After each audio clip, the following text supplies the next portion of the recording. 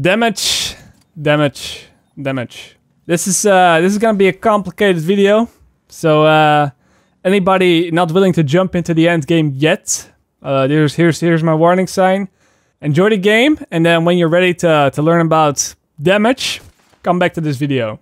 Uh, but yeah, we're gonna have to talk about damage because in an RPG game like the Division 2, having a high damage is going to be pretty important for most players. It can be the difference between cruising through content or spending magazines upon magazines upon magazines to kill just a few NPCs. Uh, even for the support and the tank builds in this game, having at least a little bit of damage is always going to be useful in some way. And although this topic should be pretty straightforward in a Division 2, it's not like that. It's it's not straightforward at all. No, it's it's actually very complicated. This is because the developers use all kinds of formulas behind the scenes to eventually get to the end result of how much damage your bullets do. Uh, and with the way that they do things, getting one 10% of damage stat roll in your gear might be good, but getting another seemingly identical 10% of damage boost on another piece of gear might actually give you more damage. Uh, they're both 10%, but one buff gives more damage than the other one. So how does that work? It sounds very confusing. Uh, but, you know, if you think about it, it's actually not that weird because when we're talking about MET, when we're talking about formulas, and when we're dealing with percentage based increases, you know, the percentage based increases can be applied in two different ways. We have the additive way and we have the multiplicative way. Now, the additive way is when you take all of the percentage based increases and add them together to get the final result. So for example, we've got our gear and we have a total of three damage buffs that are all 10%. If we do it the additive way, well, then we're going to add 10% to 10% to 10% to get a total of 30% increase. And that means that our 5000 base damage has now turned into 6500 base damage. But there's also the multiplicative way, and that is when you take all of the, the percentage based increases and multiply them on top of each other. So in this case, we have the base value times 1.10, which is basically 10%, and then times 1.10, and then another times 1.10. And as you can see, if you do it that way, uh, you're going to get a higher result, even though in both cases we got three separate 10% damage increases. And this is where the differences come from. Now, I will admit that in this particular case that I put here on screen, the difference is very insignificant. For the true min-maxers, it might matter, but realistically, it is not going to be the difference between a kill or a death in the Division 2 most of the time. It might it might once, the, the one the one time in the when when there's a full moon and all that stuff, but usually it's not going to matter too much. Where it starts to matter though is when we get to higher values as we move into the end game. Like when these buffs are going to be above 100%. Uh, and 100% is not that weird if you think about it, because having 150% headshot damage on your build uh, it's high, but for the end game, it is nothing out of the ordinary. And if we take an example where we already have 100% damage of one type, and then we add 15% more damage to that, for example, from an end game talent, it matters a lot whether that talent is going to be added in the additive way or in the multiplicative way. Because if you add it in the additive way, it's basically going to be equal to a 7.5% damage increase instead of the 15% that it claims it does. While with the multiplicative way, you get the full 15%. And that's just with one talent. But usually, at the end game, we have a lot more than one talent. So if you think about it that way, uh, you know, this can get out of hand quite fast. And having talents that are multiplicative versus talents that are additive can quickly become the difference between doing a good amount of damage and doing an insane amount of damage. So I think that's why it's important to talk about this in this video uh, to explain to you how how it works, why it works in certain ways, and also if you can't be bothered to do all the calculations yourself for your own build, uh, don't worry, I've got you because at the end of the video I also have a DPS calculator Excel sheet that you can just download, and all that requires you to do is simply type in a few values uh, from your stat screen to the Excel sheet, and then you can see which builds are better and and all that stuff. So but for now, I, I do want to talk about how this all works because if you understand this, you'll be a lot better at creating builds yourself as well. So yeah, to begin, I think the best way to start would be to make a list of all the type of damage increases that we can get in the game. Now, we already talked about this yesterday, so if you watched yesterday's video, you should be already up to date with this. Or, you know, if you're uh, a veteran division player, you should also already know this. but I'm just gonna list them here. We first up have weapon damage, which is uh, the most generic type of damage that you can get. It's unconditional. It basically boosts all the, the weapons that you have. Then we have weapon type damage, which is exactly the same as all weapon damage, but it's only for a specific class of weapons. So, for example, assault rifle damage, shotgun damage, pistol damage, SMG damage, so on, so on, so on. Then we have headshot damage, which speaks for itself as well, increases your damage when you land a headshot. Then we have critical hit damage, increases your damage for critical hits. We have damage to elites, which is extra damage that you do versus elite NPCs. Then we have enemy armor damage, which is extra damage versus the armor part of an enemy health bar. Then we have the exact opposite of that. We have health damage, which is more damage versus the health portion. And to finish it up, we have out of cover damage, which increases your damage to targets that are out of cover. Uh, and just like I said yesterday, there might also be some unique weapon and gear talents that provide you with a damage buff that doesn't really fall into any of these eight categories. Uh, but we'll get to those unique talents at the end of the video. And, you know, they're pretty rare and they don't really stack with anything, so I wouldn't worry about those too much. For now, just just imagine, just pretend that the game only has eight different type of damage stat rolls, and those eight are these ones. And, and they're all that matters for now. So yeah, with so many different type of weapon damage increases, with so many different things that we could possibly roll on our gear, how do we know when something is going to be additive and when something is going to be multiplicative. Which ones of these are additive and which ones of these are multiplicative?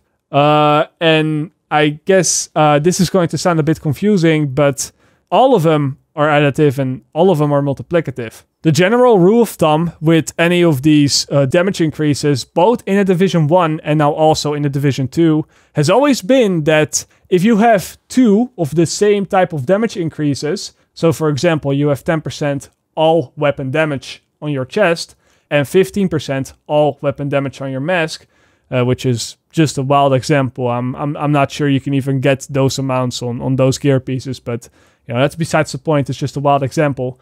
If you have two of the same type of percentage based increases, in this case, we have two different all weapon damage stat rolls on our gear, uh, then those buffs are going to be added in the additive way with each other, meaning we simply have 10 plus 15% of damage to get, you know, a total of 25% extra damage. However, if you have two damage buffs that come from different categories, like for example, you have the same 10% of all weapon damage on the chest and then have 15% of out of cover damage on the mask, then those buffs are going to be calculated in a multiplicative way, in which case the result is going to be slightly higher. Now it looks a bit messy, right? We've got, you know, these descriptions and, and this formula on the screen. Uh, and do I really have to remember all these damage types every time I just want to calculate my damage? Uh, screw that. There's got to be an easier way, right? And and indeed there is because for the Division One, I already made some sort of overview, this graph that makes it much more simple to, to put it all together. Basically, this is how you use the graph. You have your base weapon damage here. That's like the very base damage of your weapon without any buffs whatsoever. And then we're just going to have a separate box for every different damage type. And we're going to write down all the percentage based increases in all their respective boxes. So let's take our imaginary build. We've got all kinds of stat rolls on our gear. We have 7% weapon damage on the chest. Uh, so we're going to write 7% in uh, the box for all weapon damage. Uh, then we've got three mods, which all give us 3% all weapon damage. Uh, we've got 14% out of cover damage as a bonus from our LMG. We have 90% headshot damage, and the scope that we have also comes with 30% headshot damage. So let's write both of those down as well. And you know what? That's it. Let's actually keep it there. Let's keep this first example very simple. Now with this graph, everything that's vertically aligned in the same box is stuff that we're going to have to add in the additive way with each other. So for example, the weapon damage, it's going to be 7% plus 3% plus 3% plus 3% to get a total of 16% weapon damage. So yeah, once we got these values, we put them in the bottom and we add those in the multiplicative way to get our end result. And yeah, that's it. That's literally how you calculate your bullet damage in the division. So let's do a, a quick another example where we have 10% out of cover damage, another 15% out of cover damage, a whole bunch of other damage bonuses, damage to elites, some headshot damage bonuses, some all weapon damage bonuses. Write them down. We add up everything in the same box up in the additive way, and then we calculate everything in the bottom in the multiplicative way. And again, that is how we get our per bullet damage. Uh, simple enough. I think you get the picture. But there is one more thing. There, there's, there's one more thing. Because when I showed you this graph, I lied. I, I, I lied a little bit. I, I, I wasn't 100% honest. I, I changed the graph a little bit to make it easier to understand. But in reality, in the game, there are some exceptions. You see, for some weird reason, all weapon damage and weapon type damage actually sort of fall into the same category according to the game they are calculated in the additive way with each other, which means that we can remove this line in the middle. And the same sort of goes for headshot damage and critical hit damage. Uh, the game also counts those two together in the additive way. So we can also remove this line. At the end of the day, it does make the graph a little bit less complicated. So it's not necessarily a bad thing. But be honest here. If I added headshot damage and critical hit damage right from the start, it would have been confusing, right? You would have been like, why are those two things together? I, uh, I don't really get it. So now, now that we first figured out uh, how additive and multiplicative works, now I can tell you which damage types are going to be additive and multiplicative with each other. And history lesson here, there's actually a reason as to why headshot damage and critical hit damage are additive with each other. That's because in the early days of the Division 1, critical hit damage and headshot damage used to be multiplicative with each other, just like everything else, but players were easily able to rack up over 100% headshot damage and critical hit damage at the same time on some builds. And this resulted in very big differences in time to kill between a normal body shot and then a critical hit to the head because the differences would be more than six or seven times what the bullet would originally do in damage. So, in order to bring the time to kill to a more consistent place, uh, the developers decided to bring headshot damage and critical hit damage together and make them add up in the additive way. And that's how the game has worked since then, basically, since patch 1.4. Anyway, that's enough history for now. Back to the graph. Uh, with, with these last changes in place, I'd like to give you one last example of how this works. So let's add a whole bunch of bonuses to this graph, all made up. I don't even know if this is reasonable on any build, but let's go with it for the hell of this, of this video. How do we calculate this? Well, same thing. We add up everything from the same box in the additive way. We count weapon damage with weapon type damage as 1 and headshot damage and critical hit damage as 1. And then we calculate the bottom values in the multiplicative way to get the end result. And that is basically how you calculate your per bullet damage in a Division 2. But still, I guess that some people here, they want to know about their DPS, their damage per second, not about their per bullet damage. So in order to get your DPS, there are actually two more steps that are required, but they're pretty easy, so bear with me. Uh, first up, we have to take our critical hit chance into consideration, because with this graph, we're just calculating as if we always get a critical hit, right? That's why we fill in the critical hit damage. But in reality, we do not have 100% critical hit chance, so we want to divide our critical hit damage by 100 and then multiply that by our critical hit chance to get a more average result of, you know, how much damage your bullet is going to do uh, when you have a certain amount of critical hit chance and critical hit damage. And then we also have to take in mind the RPM of the weapon, which is the rate per minute, which is, you know, how fast it fires bullets. And this is actually also super easy because we can just take the per bullet damage uh, that we get at the end and then divide it by 60 and then multiply it by the RPM amount that you see on the weapon stat screen. So in this case, let's say our weapon has an RPM of 650. Uh, and that right there is your DPS in a Division 2. Uh, Sort of. It still assumes that you hit 100% headshots and that you hit all your bullets.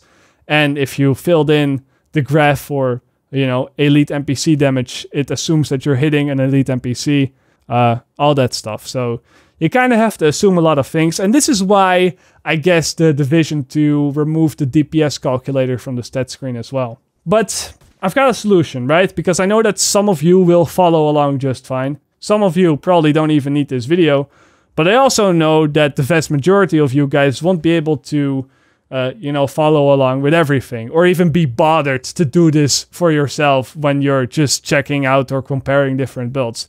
You're probably looking at the screen right now and be like, oh, fuck it. I, I, I can't be bothered. Okay, I just want to play the game. Fuck, fuck all these calculations. I'm not back in school.